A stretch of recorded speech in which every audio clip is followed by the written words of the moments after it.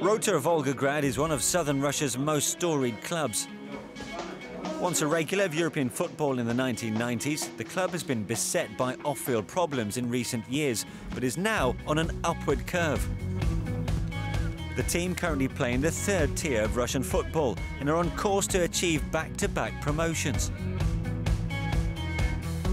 In late September, the club made a visit to the Volgograd Stadium, the city's host venue for the FIFA World Cup.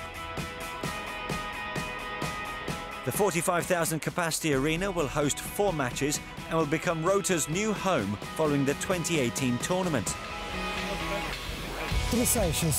It is an impressive structure. I visited many stadiums in Europe, and looking at this one, I think it will be among the very best in Europe. It will be one of the most beautiful stadiums. To be a host city is very important to us because Volgograd has a rich history. The fans here follow both the team and football in general a lot. I am happy for them and for myself personally that our city will host a number of World Cup matches.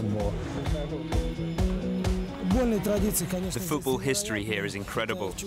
Everyone still remembers the game against Manchester United, that they were beaten here in Volgograd. All of this just adds to this history.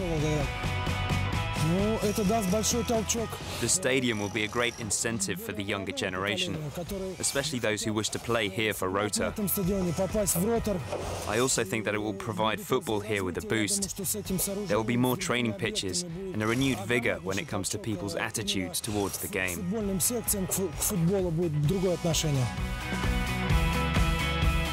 The hope is a state-of-the-art facility will help Rotor re-establish itself at the forefront of Russian football.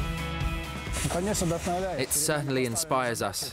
We have a goal to win promotion to the National Football League and then return to the Premier League.